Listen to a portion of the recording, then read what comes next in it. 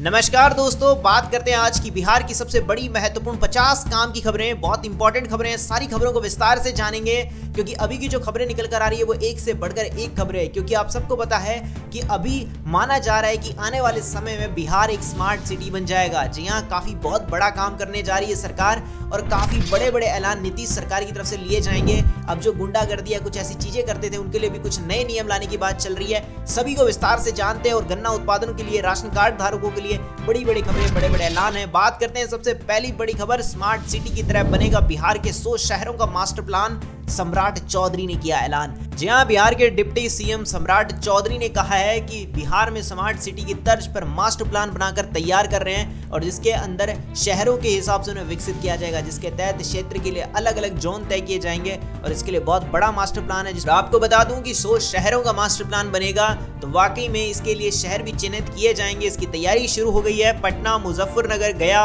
और भागलपुर जैसे कई शहरों में इसके लिए मास्टर प्लान का काम चल रहा है। लेकिन अभी तक पूरा नहीं हुआ है, सिर्फ़ पटना के अंदर ये भी प्लान बनाए गए हैं। दरअसल प्लानिंग के लिए कोई अलग नहीं थी लेकिन वर्ष 1960 में पटना में पीआरडीए द्वारा कंकड़बाग कॉलोनी को बनाया गया था। तो अभी के लिए बिहार आगे जाने की प्लानिंग पे है तो बस इसी बात पर इस वीडियो को लाइक कर दो सभी बिहार वासियों प्लीज़ लाइक कर दो। चलिए बात करते हैं अगली बड़ी खबर, महाशिवरात्रि के बारे में जान लेते हैं थोड़ा सा जी हाँ भोलेनाथ की पसंद नहीं है पाँच चीज़ें, महाशिवरात्रि की पूजा में गलती से भी न करना इन चीज़ों का इस्तेमाल। जी हाँ फागुन मास के कृष्ण पक्ष की चतुर्दशी को महाशिवरात्रि का आयोजन है और इस दिन शिव भक्त व्रत करते हैं और सबसे बड़ी बात है, सबसे बड़ा महत्व है इस दिन और आठ मार्च के दिन शुक्रवार के दिन मनाई जाएगी महाशिवरात्रि। तो इसके लिए क्या गलती नहीं करनी है, आपको स्क्रीन पे एक बार मैं दिखा दे रहा हूँ। पोज करके एक बार पढ़ लीजिएगा ताकि आपको और अच्छे से चीज़ें समझ आ जाए। ठीक है? चलिए बात करते हैं अगली बड़ी खबर, स्कूल टाइमिंग में हुए बदलाव की क्या है सच्चाई? की के पाठक ने बताया जी हाँ बिहार के अंदर स्कूल टाइमिंग को लेकर जो फर्जी पत्र जारी हुआ था। उस पत्रांक के नंबर के साथ दिनांक आदि सब कुछ डाला गया था।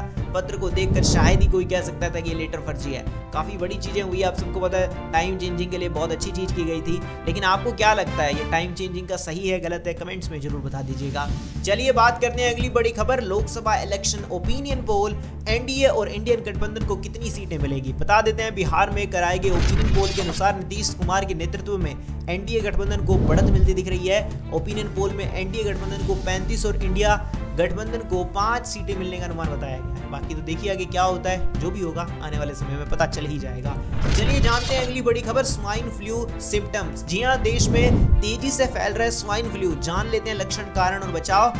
जी हाँ स्वाइन फ्लू का एक प्रकार एक वायरस है, जो गाय, सुअर और मनुष्य में पाया जाता है। ये एक प्रकार का इन्फ्लुएंजा वायरस यानी कि एक प्रकार से कहें तो ये संक्रमण से फैलता है और मानव और पशुओं में संक्रमित हो जाता है। और क्या लक्षण है जिस वजह से स्वाइन फ्लू फैल जाता है? बुखार, खांसी, गले में खराश, नाक बहना, शरीर में दर्द, सिर दर्द, थकान महसूस होना, ये इसके सामान्य लक्षण बताए जाते हैं। और सबसे बड़ी बात, अपने हाथों को बार बार धोइएगा रोकथाम के लिए खांसी और छींकते समय मुँह को और नाक को ढक के रखना है। और बीमार लोगों से दूरी बनाए रखना है। टीकाकरण के लिए स्वाइन फ्लू से बचने के लिए टीका उपलब्ध है तो डॉक्टर से भी सलाह ज़रूर ले लीजिएगा और ऐसा कुछ होता है तो तुरंत अपने डॉक्टर को दिखाइएगा, ताकि आप एकदम स्वस्थ रह सकें। बस मैं यही कामना करूँगा। चलिए इसी के बाद बात कर लेते हैं अगली बड़ी खबर। भारत में राम राज्य को कोई ताकत नहीं रोक सकती, दरभंगा में बोले राजनाथ सिंह जी हाँ रामलला अपनी कुटिया से निकलकर महल में आ गए हैं। अब भारत में राम राज्य आने से दुनिया की कोई ताकत नहीं रोक सकती। बुधवार को दरभंगा के अंदर पहुँचे केंद्रीय मंत्री, यानी कि रक्षा मंत्री राजनाथ सिंह ने यह बात कही है। वाकई में अब देखना एक बार पूरी तरक्की देखने को मिलेगी पूरे भारत में।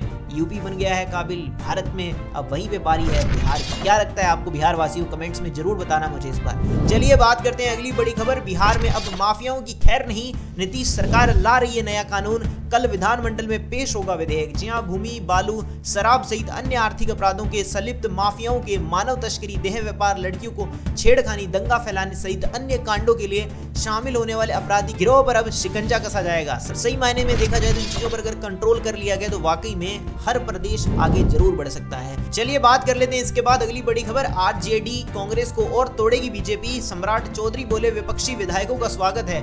जहाँ महागठबंधन में हुई टूट ने एक और, जहाँ कांग्रेस और आरजेडी की चिंता बढ़ा दी है, वहीं बीजेपी काफ़ी उत्साहित है। सम्राट चौधरी ने कहा कि विपक्ष के कोई विधायक सत्ताधारी दल में आएँगे तो उनका स्वागत है। चलिए बात करते हैं अगली बड़ी खबर। बढ़ने और कम वर्षा होने का अनुमान बीएसपीसीबी की रिपोर्ट में चौंकाने वाला खुलासा हुआ है। जी हाँ अगले दो दशक में बिहार के तापमान में लगभग डेढ़ डिग्री तो सेल्सियस की बढ़ोतरी हो सकती है। सर्दियों का न्यूनतम तापमान ज़ीरो डिग्री सेल्सियस से एक डिग्री सेल्सियस तक बढ़ सकता है। और आपको बता दें, बिहार राज्य प्रदूषण नियंत्रण बोर्ड की ओर से एक रिपोर्ट जारी हुई है। इस रिपोर्ट में कम वर्षा की आशंका जताई गई है, जिसके चलते मच्छर जनित बीमारियाँ बढ़ने से स्वास्थ्य जोखिम बढ़ने का खतरा है। तो ध्यान रखना पहले से ही क्योंकि जब ऐसा अलर्ट होता है तो चीज़ें फैलने की संभावना रहती ही रहती है। थोड़ा ध्यान रख के चलिएगा अपने स्वास्थ्य का। चलिए बात कर लेते हैं अगली बड़ी खबर। राशन दुकानों पर दो मार्च से बनेगा आयुष्मान कार्ड।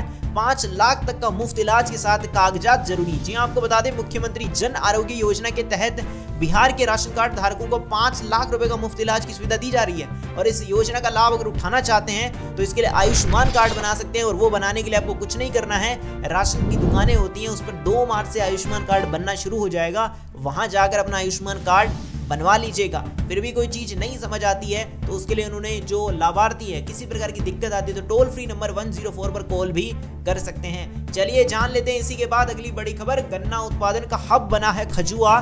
दो गुना हो गई है आय। जी हाँ जनपद में गन्ना उत्पादन के साथ क्षेत्रफल में पुराने आंकड़ों में पीछे छोड़ दिया जिया हाँ जनपद में गन्ना उत्पादन के साथ क्षेत्रफल में पुराने आंकड़ों में पीछे छोड़ दिया खजुआ के गन्ना किसान कई नई तकनीकों को अपनाकर पैदावार में अव्वल आ रहे हैं। और वाकई में गन्ना जो उत्पादन का जो हब है, वो वाकई में खजुआ बनता जा रहा है। चलिए बात करते हैं अगली बड़ी खबर। राजनाथ सिंह ने माँ जानकी मंदिर में पूजा करने के बाद किया दवा, कहा सीतामढ़ी में भी कमल खिलेगा ही खिलेगा। जी हाँ केंद्रीय रक्षा मंत्री राजनाथ सिंह ने जब पत्रकारों ने पूछा कि लोकसभा चुनाव में सीतामढ़ी सीट से भाजपा की जीत होगी तो उन्होंने कहा कि माँ जानकी के आशीर्वाद से सीतामढ़ी में भी कमल खिलेगा ही खिलेगा। चलिए बात कर लेते हैं अगली बड़ी खबर। बिहार की छह नदियों में उत्पादित होगी 160 मेगावाट की पन बिजली जी हाँ सुबह की छह नदियों में 160 मेगावाट की पन बिजली का उत्पादन किया जाएगा। और आपको बता दें, सरकार ने नदियों में पन बिजली उत्पादन का एक सर्वे का काम किया है जिसमें निकट भविष्य में इन परियोजनाओं को शुरू किया जाएगा।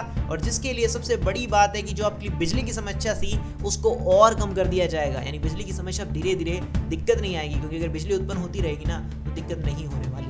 चलिए उसी के बाद बात कर लेते हैं अगली बड़ी खबर बिहार की पॉलिटिक्स के बारे में। मोदी जी ने मुझसे कहा राजनाथ सिंह ने बिहार में बताई प्रधानमंत्री के मन की बात। जी हाँ, आपको बता दें सीतामढ़ी के द्वारका पैलेस में भाजपा की ओर से एक आयोजित कार्यक्रम था। जी हाँ जहाँ पर रक्षा मंत्री ने कहा कि प्रधानमंत्री नरेंद्र मोदी के नेतृत्व में सरकार हर क्षेत्र में काम कर रही है। एक समय था जब महज एक हज़ार करोड़ रुपए का डिफेंस आइटम बाहर निर्यात करते थे। आज हम बीस हज़ार करोड़ रुपए से ज़्यादा की रक्षा सामग्री दुनिया को निर्यात कर रहे हैं। एक लाख करोड़ से ज़्यादा का हम आज रक्षा उत्पादन कर रहे हैं। वाकई में बात तो माननी पड़ेगी। तो इसी चीज़ को लेकर उन्होंने वो चीज़ बताई। बाकी आपका इसके प्रति क्या विचार है, कमेंट्स में बता सकते हैं। चलिए जान लेते हैं अगली बड़ी खबर। गवर्नर ने तोड़ी के के पाठक की अकड़ शिक्षा विभाग की बैठक से दूर रहे वीसी राजभवन ने रोका था। जी हाँ शिक्षा विभाग के ए के के पाठक द्वारा बुलाई गए विश्वविद्यालयों की बैठक में एक भी वीसी शामिल नहीं हुए यूनिवर्सिटी के अन्य पदाधिकारियों ने भी मीटिंग से दूरी बनाई। चलिए इसी के बाद बात करते हैं अगली बड़ी खबर। बिहार स्टूडेंट्स पैन नंबर के बारे में। जी हाँ बिहार के 2.44 करोड़ बच्चों को मिलेगा। परमानेंट एजुकेशन नंबर जी हाँ फर्जी नामांकन पर रोक लग जाएगी और जिसके अंदर अगर ये परमानेंट एजुकेशन नंबर मिल जाएगा तो सब जगह एक ही चलेगा। जी हाँ कक्षा एक से बारहवीं तक के छात्र छात्राओं को शिक्षा विभाग द्वारा पैन नंबर यानी कि परमानेंट एजुकेशन नंबर जारी किया जाएगा और इसको लेकर यू डाइस पोर्टल पर तेज़ी से डाटा अपलोड किया जा रहा है। चलिए बढ़ते हैं, जानते हैं अगली बड़ी खबर की उन्नाव से कानपुर लखनऊ का किराया हो जाएगा कम। बंद की गई ट्रेनों को शुरू करने की मांग चल रही है। जी हाँ आप सबको बता दें, काफ़ी अच्छी चीज़ें देखने को मिल सकती है। जो बंद हो गई ट्रेनें थी, कोरोना के काल में उनको चालू कर दिया जाएगा और जो किराया है, उसे भी कम करने की बात चल रही है। चलिए, इसी के बाद बात कर लेते हैं अगली बड़ी खबर। हर स्टार्टअप को इस्तेमाल करनी चाहिए। ये पाँच एआई टूल बिना पैसे खर्च ही हो जाएगा काम। जी हाँ अगर आप कोई लोग भी अगर स्टार्टअप करते हैं तो सबसे पाँच इंपॉर्टेंट टूल्स है मैं बता देता हूँ ए के टूल हैं जिनको काफ़ी मदद मिल जाएगी। चैट जीपीटी का आप इस्तेमाल कर सकते हो हर चीज़ जानने के लिए।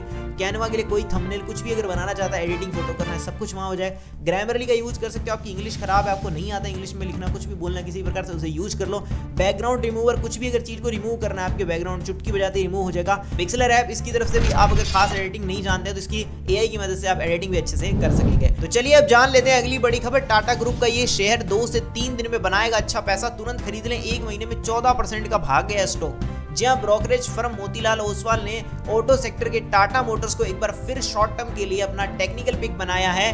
और सबसे बड़ी चीज़ मैं बता दूँ, अगर आप किसी भी प्रकार से, अगर किसी भी स्टॉक को खरीदते हैं तो अपनी सोच समझ के साथ ही खरीदिएगा। इसमें मैं किसी प्रकार की राय नहीं देता हूँ। मेरे पास जो न्यूज़ आती है, उसी के मैं अनुसार आपको बता दे रहा हूँ। तो इसीलिए अपनी सोच समझ के हिसाब से ही कहीं पे भी अगर पैसा इन्वेस्ट करते हैं तो सोच समझ कर पहले विचार कर कर ही इन्वेस्ट करिएगा। चलिए इसी के बाद बात कर लेते हैं अगली बड़ी खबर। रेलवे में बहाली के नाम पर फ्रॉड सोशल मीडिया पर भर्ती का विज्ञापन निकला फर्जी। जी हाँ आरपीएफ ने लिया बड़ा एक्शन, रेलवे बोर्ड की डीआईजी संस्थापक सारिका मोहन ने भी सभी आरपीएफ पोस्ट प्रभारी को पत्र भेजा। इसमें सोशल मीडिया पर वायरल हो रहे अधिसूचना पत्र को फर्जी बताया और आरपीएफ ने इसकी जाँच कराई जा रही है। चलिए इसी के बाद बात कर लेते हैं अगली बड़ी खबर, पैसे दो और नौकरी लो। साइबर फ्रॉड ने जॉब दिलाने के नाम पर ठग लिए 2.5 लाख रुपीस। जी हाँ अब कैसे उतारेंगे कर्जा? जी हाँ नौ फरवरी की बात थी, उन्हें एक अनजान नंबर से कॉल आया। उसने एक नामी इंटरनेशनल कंपनी को खुद का एचआर बताया और उसके बाद जॉब को ऑफ़र कर दिया। और उसके बाद विनय से लगभग 16 से 21 फरवरी के बीच में अलग अलग मंथ की रुपए की मांग करते गए।